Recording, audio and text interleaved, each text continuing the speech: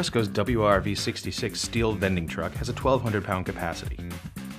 It comes with a steel locking clasp to secure the belt, rubber pads to protect cargo,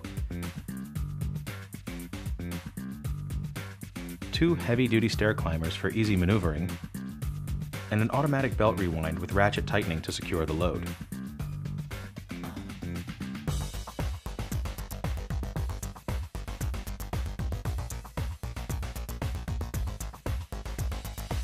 Simply press the foot pedal to extend the kickout. The kickout allows four-wheel maneuverability and easily retracts.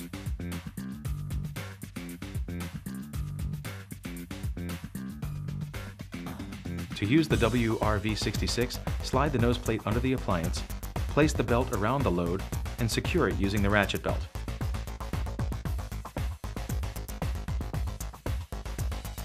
With both hands on the truck, tilt the load back, engage the kickout, and roll the appliance to its position.